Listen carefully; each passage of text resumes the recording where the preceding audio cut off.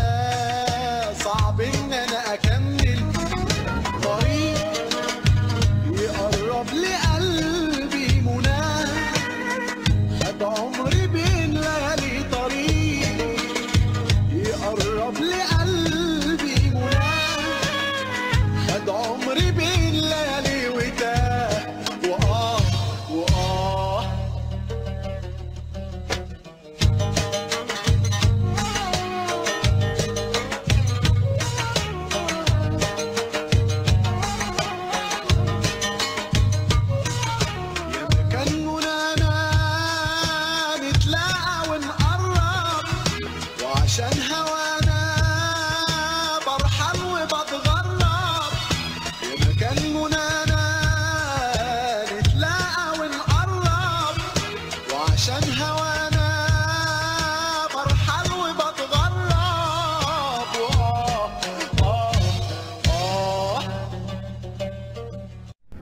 استنوا يا جماعة لحد دلوقتي القصة ما خلصتش. عايز أقول إن الموضوع اللي أثرته أستاذة شيماء مهم جدا. في ناس كتيرة بتتمنى إنها تخرج من حاجز الغربة ولكن خلاص هي انجرفت حياتها لكده. في ناس كتيرة عايشة في بلدها غريبة حتى لو هي في وسط أهلها. عايز أقول ممكن الست أو الراجل يكون عايش في وسط أهله وحاسس إن هو غريب. محدش بيسأل عليه محدش فاهمه. حتى الست وهي متجوزة ممكن يكون جوزها معاها مش فاهمها مش حاسس بيها مش عارف مشاعرها مش عارف يقدر حاجات كتيرة قوي.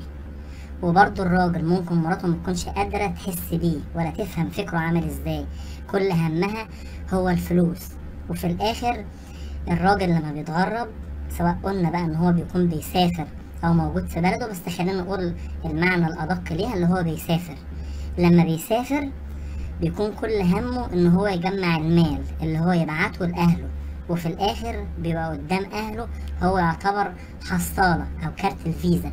اللي يبعت الفلوس ليهم عشان يحقق لهم كل أحلامهم. وللأسف وده عن تجارب ناس كانت حواليا.